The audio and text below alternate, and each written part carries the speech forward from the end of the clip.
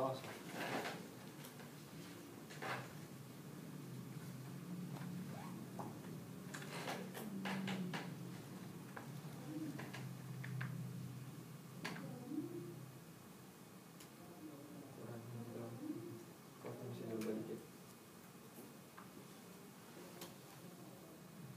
item is undefined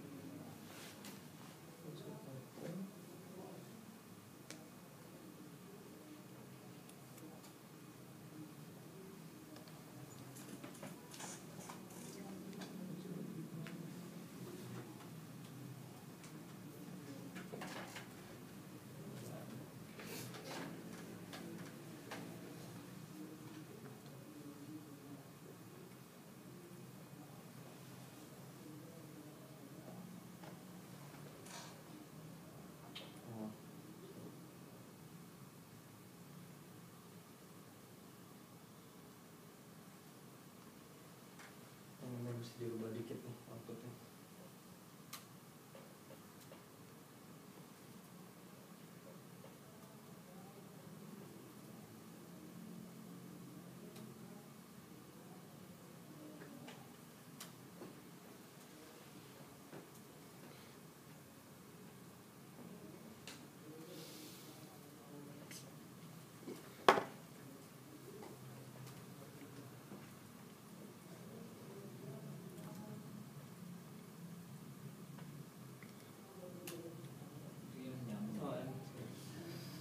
Oh, M. M salah.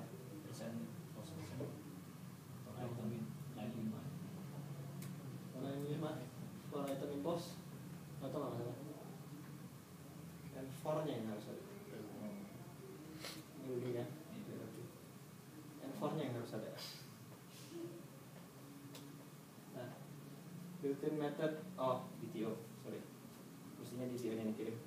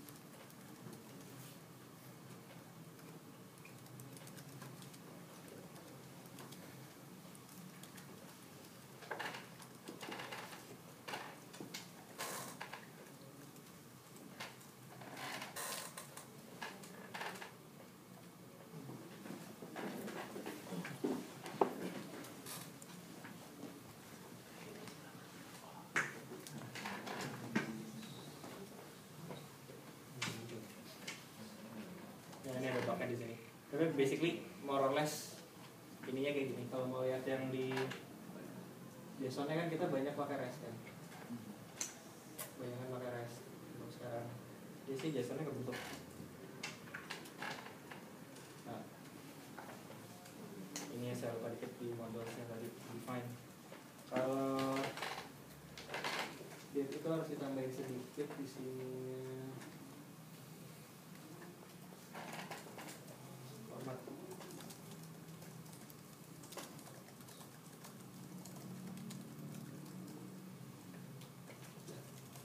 bisa keluar jadi kalau mau kasih sih jalan pasti Yang itu.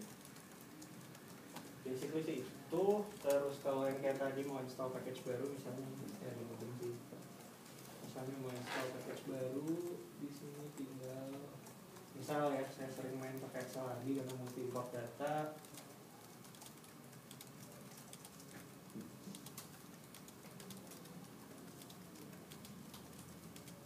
Jalanin.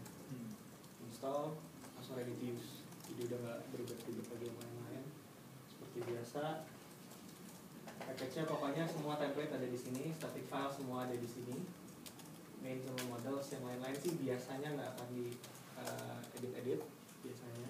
Kalau mau ada helper function yang banyak dipakai di mana-mana misalnya perlu di dua file taruhnya di sini sama saya helper file jadi saya udah siapin satu file namanya helper.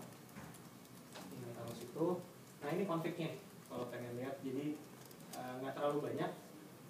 Uh, ini sih sebaiknya udah nggak dirubah.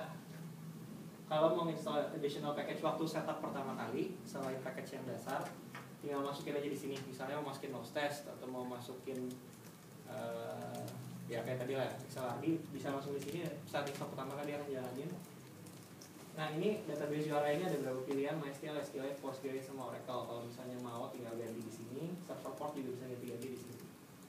Jadi akan langsung ambil dari situ.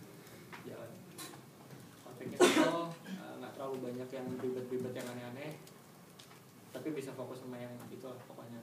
Tadi saya bilang lebih baik fokus di proses. Kalau mau lihat contohnya yang jalan ini tapi yang di Google App Engine.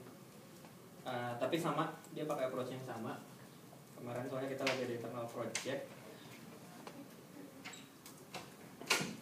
Uh, ada yang pernah pakai built-in Nah, jadi ada aplikasi namanya built-in itu ada di Android, iOS sama webnya buat bill sharing. Ini kita bikin kemarin internal. Saya pakai Google App Engine. Uh, ini semuanya jalan under Emerald Box sama class. Jadi kalau register mau pakai session dan segala macam juga simple nggak terlalu ribet. Kalau misalnya mau perlu login, contohnya kalau mau lihat saya sebentar ini. bill sharing tuh gimana bill sharing jadi misalnya pergi sama teman-teman terus yang bayar satu orang. Nah kan ada yang utang berapa utang berapa dicatatin di sini gitu. Jadi biar nggak bisa nggak bisa bohong. Dan ada dia langsung auto kirim email untuk efek ini jadi misalnya ada yang ngepin bill lo nggak ngutang tapi kalau di charge sama orang itu kan bisa tahu gitu langsung dapat email. Tapi kalau udah bayar udah lunas juga dia kasih tahu Ah. Nah, terus setiap orang Iya. jadi ngeklaim gitu oh lo ngutang segini ke Iya. Karena di kantor kita kan untuk uh, lunchnya itu dibayarin dulu sama kantor Hmm. akhir bulan baru nanti kita ini. Jadi ini aplikasi akan dipakai itu. Jadi selama ini ada yang bill pin tapi karena yang bill pin bayar terus kebetulan saya juga lagi idle jadi disuruh bikin ini. Nanti yang semalam itu ketiduran karena coding Android. Java tuh bikin kurang tidur bener-bener ampun nah ini. Jadi ini banyak memang function yang saya nggak ini yang nah ini untuk kirim email. Tapi ini kan dari app, app engine punya ya. Nggak nggak yang generik lah. Kirim email ini untuk create user tetap dipakai yang usernya edit user update user user password change user password update. Untuk login jadi untuk pemakaian session itu hanya gini aja. Sessionnya udah diimport dan di config juga harus masukin di session ID saya udah ada udah udah masukin defaultnya. Tapi uh, sebaiknya diganti karena nanti kalau defaultnya sama orang bisa nyolong session security concern itu terus kita tinggal masukin aja ini akan masuk. Kalau mau ngecek orang udah login atau belum misalnya tinggal gini aja. Kalau saya kalau saya biasa user kan objek itu saya lempar session satu objeknya itu. Jadi kalau usernya ada dalam session dia jalan kalau misalnya enggak redirect ya login controlnya ke halaman loginnya itu sendiri itu sih lebih simpel. Kalau saya sebenarnya lebih senang coding di App Engine karena modelnya jauh lebih simpel. Nggak banyak ribet-ribet segala macam kayak tadi yang pakai scale kemudian kita juga nggak pusing ke scale dan segala macam. Tornadonya nggak dipakai sih untuk yang di sini. Karena untuk jalan uh, testing biasa juga dia kan biasa pakai yang uh, App Engine Launcher. Jadi jauh lebih simple jadi portingnya udah ada dua. Untuk di sini udah ada di App Engine dan yang biasa juga udah ada. Jadi nggak pusing dan yang App Engine itu udah pakai NDB banyak yang suka pusing pakai NDB NDB jadi sekarang Google itu pilihan data storage ada tiga Hmm. yang di Google App Engine. Eh, pertama itu yang traditional data store Google DB. Ada yang non non blocking DB dibikin langsung sama Guido waktu dia di Google. Jadi ini projectnya Guido. Terus satu lagi Google Cloud SQL sekarang. Tapi sebenarnya yang benar-benar bagus buat scale itu yang DB atau NDB antara dua ini. Nah si NDB ini kelebihannya dia di memcache. Jadi lebih cepat query-nya. By default udah di memcache sama Google. Jadi lebih cepat. Nah saya masukin ini langsung NDB untuk yang di Emerald Box yang di Google App Engine. Jadi performance-nya juga akan jadi jauh lebih cepat. Untuk itu query-nya juga lebih mirip sama SQL Alchemy dibanding kalau pakai yang DB query. DB query itu jauh lebih ribet. Ah,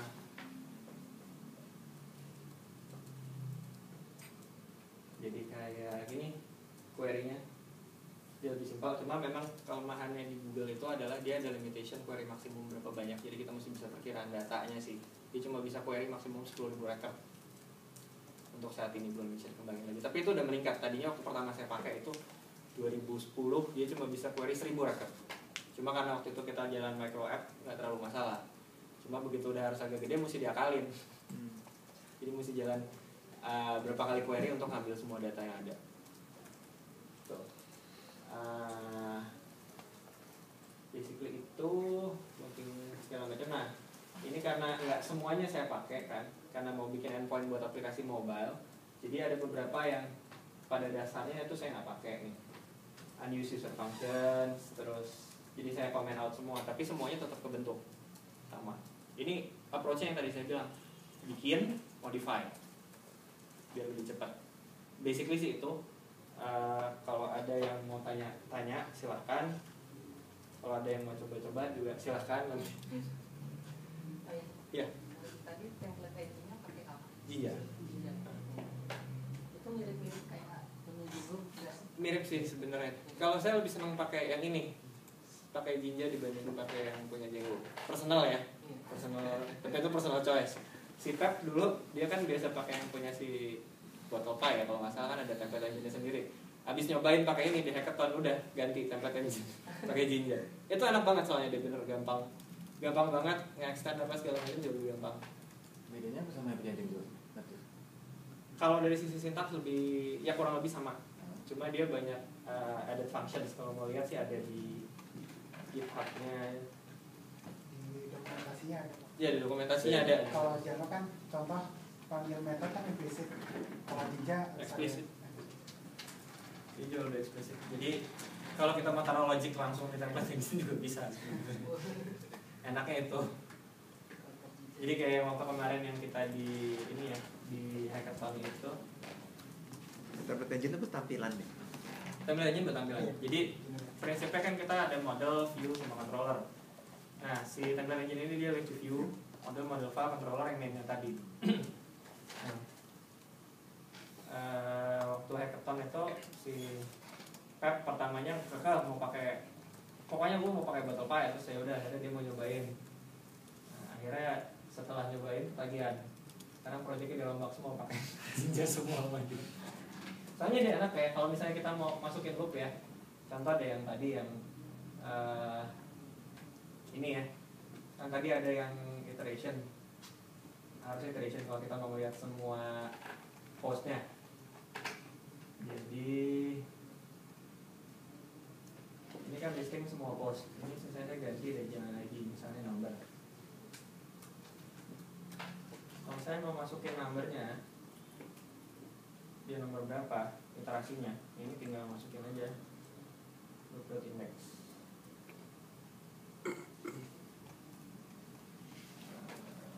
Nanti kalau ini dia jadi loopnya indeksnya mau yang dari 0 loop.index 0 ya dari 0 banyak yang gitu eksplisit di template-nya. Kita bisa jalan di situ ya pada pertamanya sih memang saya bawa karena bawaannya flash meskipun bisa diganti-ganti sendiri gitu. Tapi setelah nyobain memang ya oke ini memang enak. Jadinya ya udah lanjut terus pakai dipakai sekarang. Gitu. Ada lagi? Bisa download di mana? Emerald Box-nya. Uh, kita ada saya ada websitenya sebenarnya cuma itu saya belum sempat update. Dia ada di sini. Box.mfeld.com ada di sini. Ini klik here to download. Tapi yang lebih terakhir versinya itu ada di GitHub. Jadi GitHub kalau mau lihat itu ada di sini. Github.com Nih, github.com sama Emerald Box. Nanti saya masukin di presentation nanti kan saya upload. Bukan itu. Ini ada versi terakhir eh, tapi mungkin akan ada perubahan. Ini saya sering ada perubahan jadi kalau memang pakai ya sementara. Kalau memang nggak mau udah nyaman nggak mau berubah-berubah helper toolnya lanjut aja. Tapi kalau misalnya mau diupdate aja. Gitnya untuk yang ditanya. Di sini ada description ada uh, pemakaian juga gimana cara setup terus deployment usage. Ada sedikit perbedaan kalau misalnya jalan di Windows karena dia harus nembak langsung ke ininya saya nggak terlalu familiar dengan Windows dari dulu banyak pakai Linux. Kalau ada yang bisa tahu caranya biar saya bisa langsung nembak ke dalam itunya monggo tolong dikasih nanti saya bikinin. Nanti saya masukin depan terus juga. Eh, jadi biar lebih simpel kalau kayak di Unix kan saya tinggal ini doang. Kalau di Windows dia masih agak panjang. Eh, jadi documentation sementara baru ada di sini. Saya lagi bikin tutorial cuma karena kerjaan lebih banyak nggak sempat kelar kelar Eh, blog postnya udah 75% jadi sih harusnya cuma nggak sempat basically itu ini. Jadi basically saya juga mention di sini uh, structure-nya itu implemented based on dua. Jadi Flask itu dia punya pattern sendiri untuk uh, structure aplikasi yang benar terus ada tutorial juga mungkin kalau yang pernah main main Flask mungkin pernah baca Flask Mega Tutorial. Ada beberapa tool yang saya ambil dari situ juga. Uh, karena dia memang tidak spesify harus bikin sendiri. Orang kan nggak semua tahu harus baca ke situ jadi saya bikin udah ada di situ. Mau bisa di sini ini sekarang udah version 1.1 kalau saya salah terakhir. Ini ada ya satu satu Eh, udah banyak perubahan lah terus kalau mau lihat sejarah perubahannya bisa lihat di sini ada semua ini open repo kalau mau fork silakan mau pull request juga silakan oke Kalau yang hack- hackathon kemarin jadi buat aplikasi apa? Senatornya. oke em, kita bikin aplikasi namanya Kabel hmm, saya lupa di Google App Engine-nya itu apa ya kemarin namanya Kabel app apa apa sih bentar saya lihat di kode.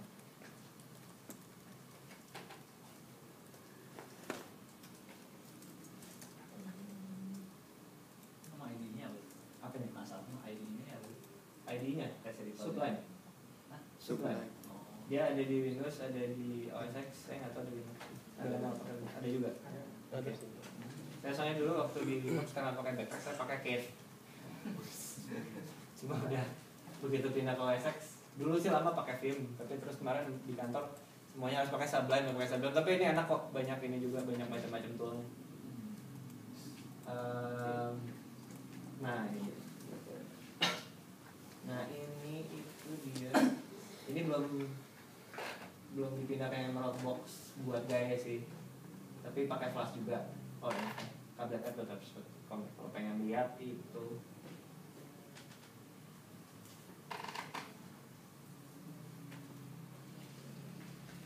Oke. Kalau di sini sih saya nggak yakin dia akan nyari toilet terdekat. Jadi aplikasi ini pada dasarnya adalah toilet finder Hmm. untuk terdekat cuma waktu itu ya berdasarkan listing aja gitu jadi karena ini crowdsource jadi buat orang bisa nge-add Uh, saya udah ada Android versionnya kalau ada yang mau mau crowdsource silahkan kita dengan senang hati menerima gitu Inputnya lokasi kamar mandi gitu. GPS Jadi dia akan baca lokasi GPS Anda ada di mana. Silahkan upload. Tapi sementara baru untuk Android saya lagi belajar iOS di kantor nanti kalau udah saya bikin version iOS -nya. Eh, jadi dia akan cari toilet-toilet terdekat dengan lokasi Anda. Sementara sih nggak terlalu banyak karena waktu itu untuk hackathon ya kita lokasinya di UI semua lah karena itu di UI gitu. Dia akan hitung sampai meter, eh, terus walking directionnya juga akan dikasih lihat di situ. Kalau di sini sih jauh lebih kalau ada yang mau lihat cuma masalahnya tidak akan bisa ngelihat lokasi ini yang ini ini saya akses pakai mesinnya agak pelan jadi dia akan cari lokasi terdekat di mana? Terus akan tampilin mapnya di lokasi. Ada listing sih di, di, beberapa tempat nanti bisa klik. Nah kalau kayak gini tidak ada toilet terdekat pada dasarnya. Jadi dia masih kosong tampilannya Ya, cuma kalau dia nggak berhasil nemuin lokasi kalau ini karena lokasinya ada kan dia baca dari yang dari handphone jadi nggak ada yang uh, tapi kalau misalnya dia nggak nemuin lokasinya dia nggak defaultin ke UI dan dia akan lari toilet toilet terdekat di UI itu di mana gitu aplikasinya ah sorry. Petanya keluar. Tapi nggak ada toiletnya. Kosong listingnya kalau misalnya ada dia nanti ada gambarnya sini toilet toilet toilet toilet gitu. Terus ada rating. Orang bisa ngerating toiletnya ratingnya berapa. Beneran. Jadi bisa ketahuan gitu. bisa yang jorok di mana gitu. Biar nggak ke situ ya. Nah, jadi sih saya lagi ini. Jadi kebetulan saya juga lagi kerja bareng sama tim World Banknya itu sendiri. Nah kemarin ketemu ada salah satu orang di Bapenas. Dia tertarik dengan idenya karena salah satu program Bapenas sekarang kan yang mengejar Millennium Development Goals itu sanitasi kan toilet. Nah dia mau nge-push ini untuk bisa mapping di mana aja sih ada toilet buat dapetin datanya. Mau di push jadi nanti mungkin akan dikembangkan lagi sih. Sementara available aplikasinya versi Android kalau ada yang mau nanti saya bisa langsung installin atau PK, APK-nya kalau yang mau ada. Support sampai Jelly Bean kalau salah.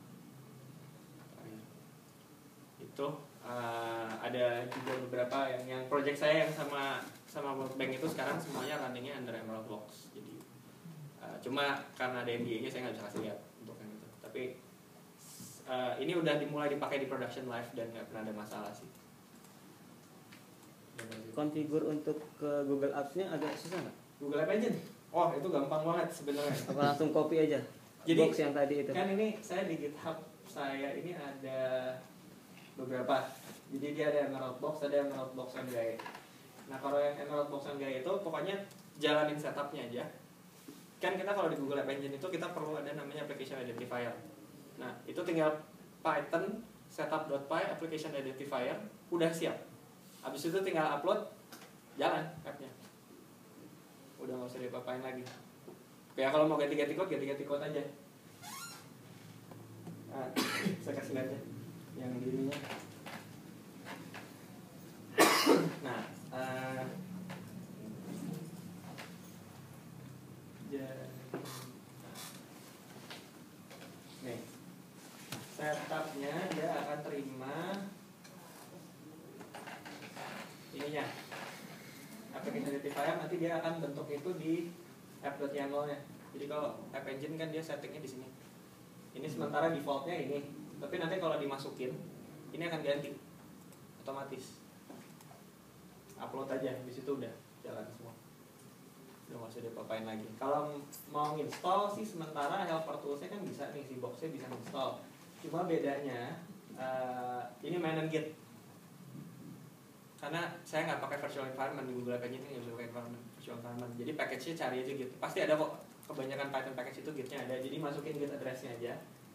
Nanti dia akan install ke sini ke folder ini. Ini sih yang masih empty package ya. Jadi saya kalau yang ada package-nya ya yang tadi. Nah ini kan ada nih package di dalamnya udah ada.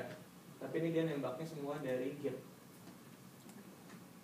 nanti gitnya yang akan dimasukin tinggal di import doang sih di mainnya jadi nggak jadi masalah. Strukturnya memang beda sih. Kalau yang tadi di grup dalam satu app sendiri kalau yang ini enggak karena Google ya kalau bisa flat seflat mungkin lah. Terlalu banyak ini. Itu sih. Jadi nggak nggak nggak susah untuk setup. Saya mau gampangin setup nggak mau pusing setup karena nggak semua orang ngerti setup server kan. Jadi basically itu aja yang mau dibikin. Ada lagi Saya tuh penasaran sama yang ini kan pengen pernah coba sih yang virtual and gitu. Nah, Nah, kalau misalkan kita di default instalasinya itu Pythonnya udah banyak paketnya, package banyak. hmm. Terus kita setup yang virtual env itu Hmm.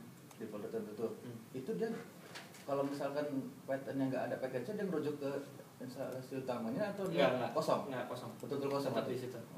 Kosong di situ. Kecuali kalau misalnya memang terus mau diganti untuk yang itu ya. Nah, ini. Kalau misalnya memang kita mau merujuknya ke full Python package yang ada di luar, bisa. Itu yang penting di si test run-nya ini ini diganti aja. Atau dihapus. Tapi ya nanti dia akan bacanya yang yang yang umumnya lah pokoknya. Python package umumnya kayak gimana. Dari environment environment total, bukan dari environment yang saya setup.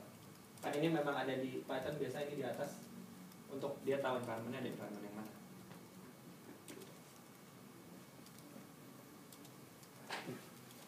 Ada lagi? Kalau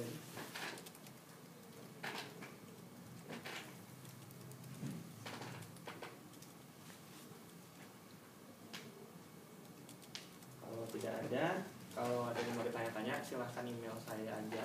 Ada di repo-nya tadi ada alamat email saya kalau memang mau email mau tanya atau mau di Google Plus atau mau di forum juga silahkan. Eh, kalau ada yang mau bantu contribute, saya juga akan senang ada yang bantuin kalau saya ada yang tertarik kira-kira. Eh, semuanya git based sih, jadi silahkan pull request aja. Nah, jadi pusing paling nanti kita review bareng dulu untuk itunya bisa apa nggak diimplementnya, implikasinya apa pasti akan lihat situ. Jadi untuk menyempurnain ini produk dalam negeri loh. Meskipun ada komponen-komponen dari luar, tapi dalam negeri. idenya ide produk dalam negeri udah udah ada beberapa yang forking dari luar juga. Jadi udah udah udah lumayan inilah karena saya lumayan promosiin ke mana-mana biar tahu lah di Indonesia juga ada orang Python meskipun sedikit gitu. Soalnya kayaknya saya berapa kali tuh, hah Python ada ya orang Indonesia yang bisa Python ngeremehin banget. Kayak dianggap nggak ada. Ya mudah-mudahan dengan ini dan misalnya ini bisa jadi satu framework yang bagus dan orang banyak pakai, bisa ngangkat sendiri nama Python itu sendiri gitu. Tujuan saya sih sebenarnya itu karena it's a good language, uh, easy to use, very useful dan enaknya tuh dia sangat-sangat readable kan Python tuh. Jadi ya itu salah satu caranya ya gini bikinlah tools-tools yang bisa dipakai sama orang. Gitu sih. Kalau nggak ada lagi saya cukupin sampai sini. Terima kasih atas perhatiannya.